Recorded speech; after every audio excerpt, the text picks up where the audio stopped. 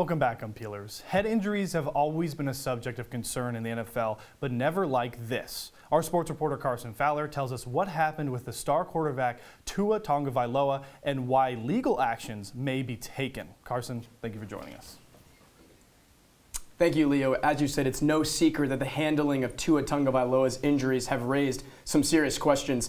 The, in the, for context, in the Dolphins ma matchup with the Bills on September 25th, the star quarterback absorbed a violent hit to the head. However, he was cleared to return to play despite appearing to have difficulty even standing up.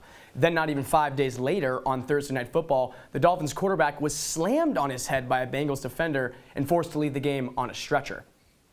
The NFL Players Association promptly launched an investigation into whether concussion protocol was actually followed.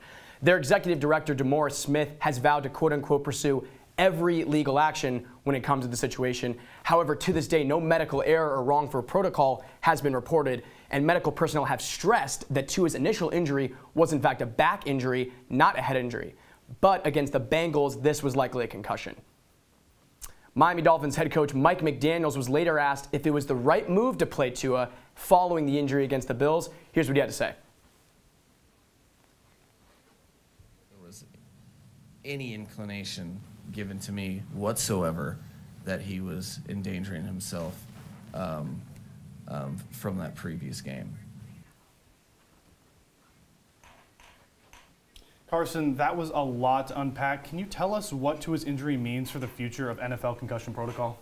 So, Leo, the NFL has essentially come out and said that any injury going forward that results in gross motor instability will be a no-go when it comes to players returning to the field. That's basically any any um, injury that, that involves the arms, legs, or feet, big muscle injuries where they can't really stand up or have trouble standing up or falling down, kind of like Tua did.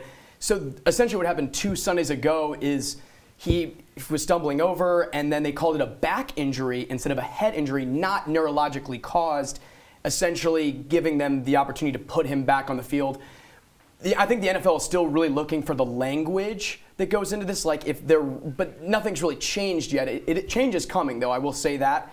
But until then, there still will be a few of those, you know, medical doctor judgment calls. That's all we have, though. Ella, to you at the wall.